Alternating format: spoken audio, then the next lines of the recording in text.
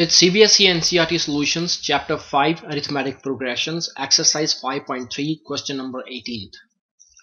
The problem is a spiral is made up of successive semicircles with centers alternatively at A and B starting with center at A of radius 0.5 cm, 1 cm, 1.5 cm, 2 cm and so on.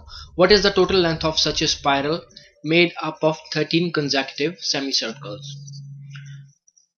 So basically the spiral is made up of semicircles and center starts at point A and radius of such a semicircle is equal to 0.5 centimeter and in the next semicircle the center is at point B and radius of that semicircle is 1 centimeter and then again center is at point A and radius of that semicircle would be at 1.5 centimeter and it goes on like that. Now let's proceed through solution. So circumference of we can say circumference or length of first semicircle. So I will write circumference of first semicircle is equal to pi r let's write r1 the value of r1 here is 0.5 centimeter.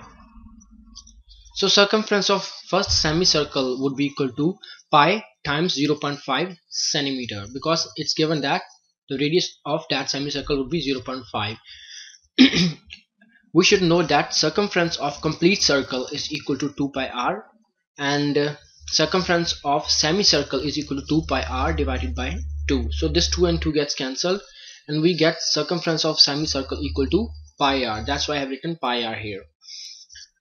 Similarly circumference of second semicircle would be equal to pi times 1 centimeter because it's given that radius of that semicircle would be 1 centimeter. Now circumference of third semicircle would be equal to pi time, times 1.5 centimeter.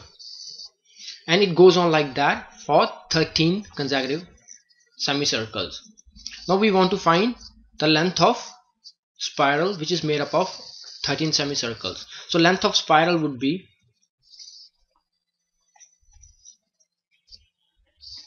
equal to pi times 0.5 centimeter plus this plus this up to 13 terms.